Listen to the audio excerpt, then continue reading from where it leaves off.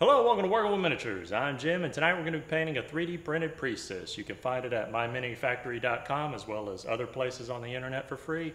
I'm not sure who made it, but thank you for your time. There's a lot of people who are claiming they made it. Let's get started.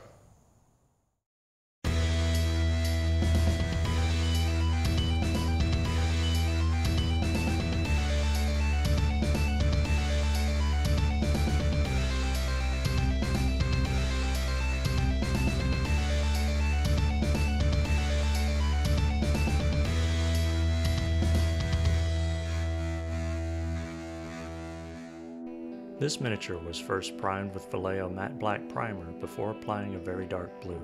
I like running golden high flow acrylics through my airbrush as it's already very thin and requires little in the way of additional thinners. Since the primary light source will be from two places on the ground, I spray my highlights from below. I also spray the two places the light will be emanating from to help gauge where these later highlights will go.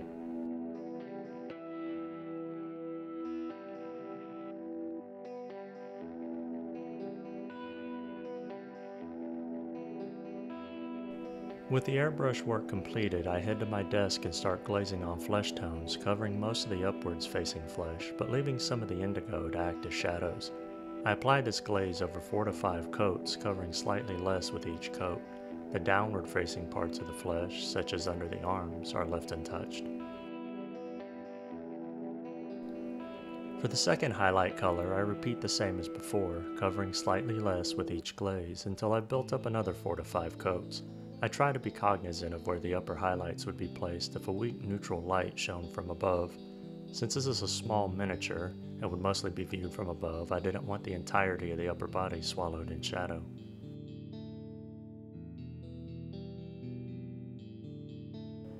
I decided to use coppery metallics for the bells and discs on her belt. My original thought was of her being a druid, and whenever she stalked someone, darkness would follow, giving way only to the cold light of the glowing fungi that would sprout at her feet, then crumble to ash in her wake. The end idea was when the party finally got to see her in regular light, the warm colors of her flesh and clothing would be in jarring contrast to what they had seen previously. In a story setting, that's fine and all, but in practice on a lifeless model, I think silver metallics would have been better, considering the knives will be painted with silver metallics later. Ultimately, the coppers end up being too close to the hue of her flesh and the leather belt, making it hard to differentiate between them.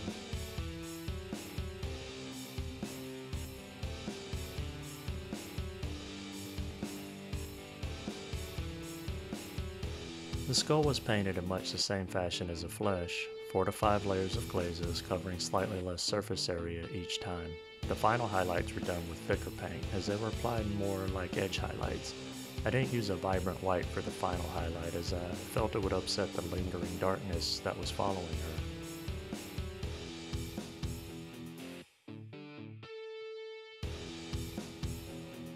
When I paint the knife silver, I leave much of the blue. It was about here in the painting process that I started to really build her story. There was a small village with many retired aristocrats from the neighboring townships. Their mask of piety and etiquette belied their true nature and how they came to power, these unscrupulous creatures of opportunity. The final sins of eight of these cowardly predators occurred last harvest season when they fell upon a wild woman in the bordering swamp. They brutalized her before hiding their transgressions by binding her in a large fish trap and casting her into the water. They only waited long enough for the bubbles to stop surfacing before returning to their homes, their wives, their children, and most importantly to them, their facade of impeccable decency. The hair was kind of weird, spiky, which is fine for around the head but doesn't make a lot of sense when you get to the lower back. It's more like quills than hair, so this too influenced the character's story. Originally, she was supposed to survive the drowning. The skull just meant to strike fear into the men. The story evolved to it being her mother as the druid, and through divination, she finds her daughter's body and suffers visions of the horrors that were committed she fashions her daughter's skull into a mask so that her daughter may watch with her as her vengeance is enacted. A wig made from the reeds reeking of the stagnant swamp adorn her head. In retrospect, I wish I used a lighter cream color for the reed wig, maybe something like dried wheat, but then again, the upper body is made up of brown and coppers already.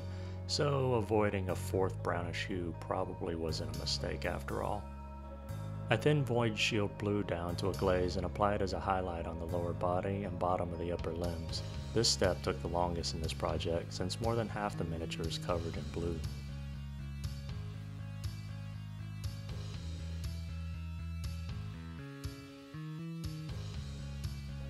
Thinning a dark blue to a glaze, I apply this over everything except the skull to tone everything down a step and to help tie everything together. I felt the hair and flesh were a little too bright, especially.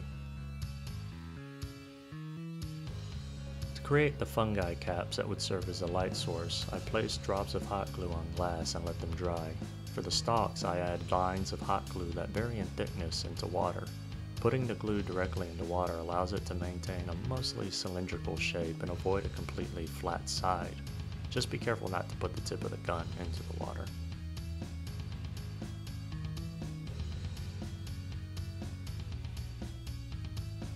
I then shape the caps and cut the stalks with an X-Acto knife.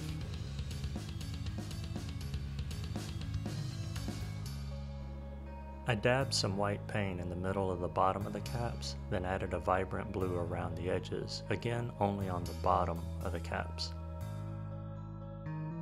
I then glue the mushrooms into place.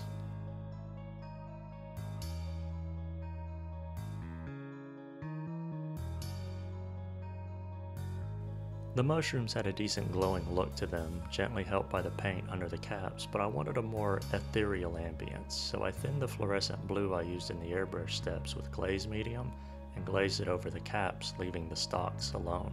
Just one light coat made a big difference. With the light sources now in place, I go back one last time with Void Shield Blue, slightly thinned, and layer on some brighter highlights all over the blue areas, especially near the mushroom caps. The priestess is now ready to visit her vengeance upon those who wronged her daughter.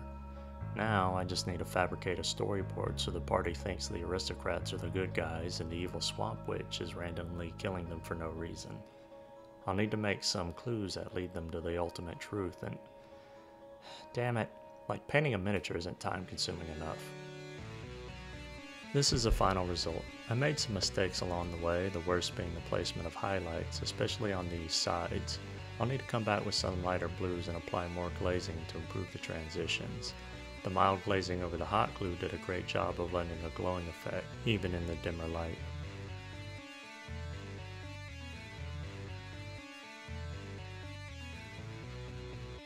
That's going to wrap it up for today. I hope you learned something or were inspired to start or expand your own collection. If you have any questions or comments, please leave them below. And if you like the content of this video and would like to see more, please like, share, and subscribe. I'm Jim with Working with Miniatures. I'm truly grateful for your time, and I bid you a fond farewell. Until the next video.